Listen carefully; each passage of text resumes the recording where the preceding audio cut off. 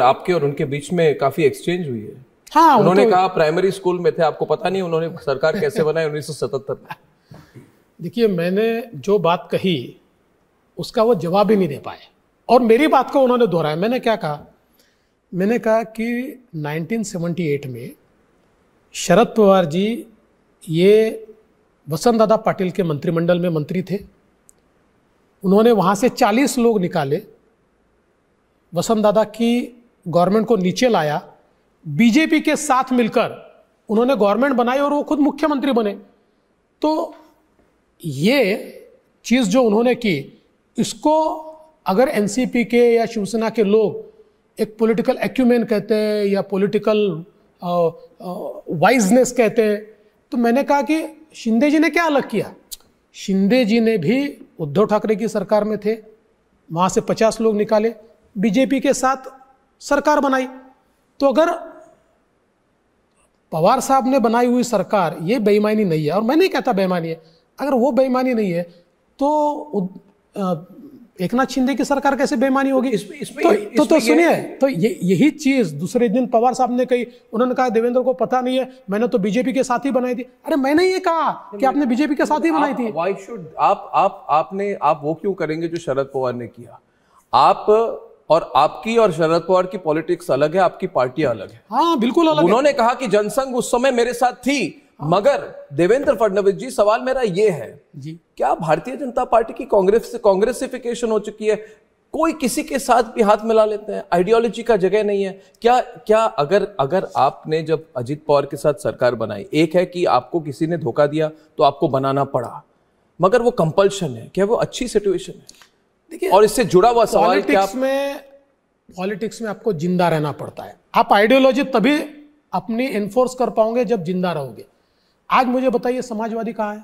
ना वो समाजवादी रहे ना उनकी आइडियोलॉजी रही। हम ज़िंदा है। देखिए मैं मैं बार बार ये कहता हूँ कि मैं कोई दुनिया का सबसे ईमानदार आदमी नहीं हूँ। मैं भी पॉलिटिक्स में कुछ कॉम्प्रोमाइज़ करता हूँ। लेकिन मुझे पता है कहाँ तक जाना है। मेरी सीमा क्या है?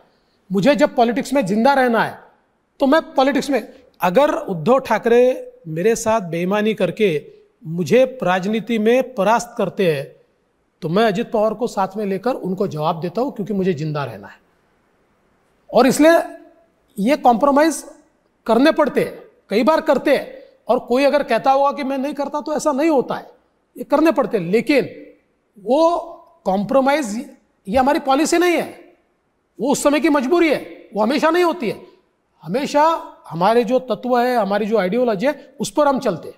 मगर क्या कॉम्प्रोमाइज इस हद तक हो सकती है कि आप उन्हीं पार्टियों के साथ अरेंजमेंट करें जिनके नेताओं का दाऊद इब्राहिम के बिज़नेस पार्टनर्स के साथ लिंक है और उनके उनके नेता वही पार्टी से है जिनके दाऊद के बिज़नेस पार्टनर्स के साथ मुंबई में प्रॉपर्टी है जिनका ईडी का इन्वेस्टिगेशन हो रहा है उसको लेकर। क्या आइडियोलॉजी उस समय में तो उसका तो, कोई महत्व नहीं है? वो तो जिस समय मैंने अजीत दादा के साथ शपथ ली उस समय नहीं था ना ये?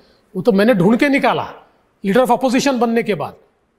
तो उस समय ध्यान में आया वो सारी चीज़ें, वो तो मेरा इन्वेस्टिगेशन है। उसके बाद वो ध्यान में आया है। मैं आपको एक चीज़ बोलता हूँ कि हम कॉम्प्रोमाइज़ तो करते हैं, लेकिन कांग्रेस के साथ नहीं कर सकते। मुस्लिम लीग के साथ नहीं कर सकते। एमआईएम के साथ नहीं कर सकते।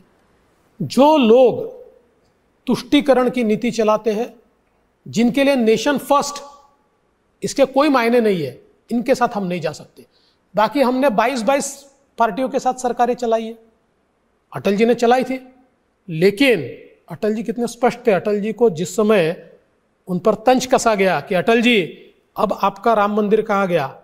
अटल जी, अब आपका 370 कहा गया? अटल जी, अब बताइए आपकी सारी चीज़ें कहाँ गई? तब अटल जी ने कहा था, जिस दिन मेरी पार्टी की मेजोरिटी आएगी, उस दिन ये चीज़ें होगी। मेजोरिटी आई मोदी जी ने करके दिखाया। 370 हटा। आज राम मंदिर बन रहा है और मेरा पूरा विश्वास है कॉमन सिविल कोड भी आएगा। 2024 के चुनाव के पहले या बाद में? ये तो, स्लोगन रह चुका है। नहीं ये देखिए आप क्या चाहते हैं? मोदी जी जो कहते हैं वो करते हैं जो टाइम टेबल उनके दिमाग में होगा उस टाइम टेबल के हिसाब से हो जाएगा।